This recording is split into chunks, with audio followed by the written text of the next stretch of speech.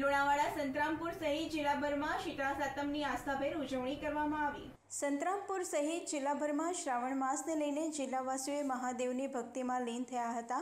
શીતળા માતા માટે મંદિર ખાતે શીતળા માતાની પૂજા અર્ચના કરવા માટે મોટી સંખ્યામાં મહિલાઓ ઉમટી પડી હતી.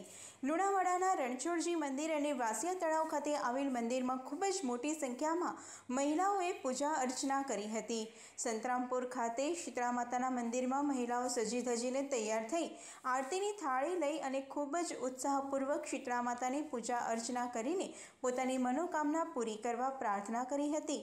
શીતળા માતાના પૂજારી ગરીશ જોશીએ પોતાની ભાષામાં જણાવ્યું કે, શીતળા માતાને હું પણ અરજ કરીશ અને દરેકને કહું કે, શીતળા માતાની આશા રાખશો તો જેને ઓલાદ નથી, તેને માતાજી ઓલાદ પણ અર્પણ કરશે અને ઘણા ભક્તો માતાજીને ચાંદીનો રથ ચડાવે છે અને શ્રીફળનું તોરણ પણ માતાજીને ભેટ આપે છે અને તેમની મનોકામના પૂર્ણ થાય છે. શીતળામાની પૂજા સવારમાં લોકો ઠંડા પાણી નાય છે અને શીતળામાની આટલું શ્રદ્ધાથી પરિપૂર્ણ થાય છે. જેને વસ્તા જેને ના હોય તો પણ જે બાધા રાખે છે બાધા પણ પરિપૂર્ણ કરે છે. અને અમુક લોકો તો ચાંદીનું પાયણું પણ બંધાવે છે અને શ્રીફળનું તોરણ બંધાવે છે. પણ શીતળામાં દરેકની મનોકામના પરિપૂર્ણ એવી હું સદાયને માટે આશા રાખું છું.